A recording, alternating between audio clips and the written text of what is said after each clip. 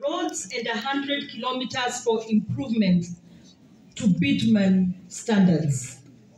Pre-primary education, village polytechnics and homecraft centers have been devolved to the counties and, to, and, we, and play a key role, especially for children starting their education journey. For many a child, it is often quite a distance from their homes to school and hence not making practicable to go home for a meal and go back to school.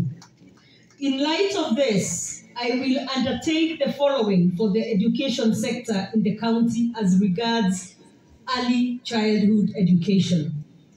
I will implement a school feeding program in all the ECDs across Nakuru County. And this should increase enrollment. Consolidate all the bursary allocations so as to ensure equitable distribution with priority to the needy and poor students across the county. Equip technical training institutes, uh, establish a school of public service, set up a community library in every sub-county across the county.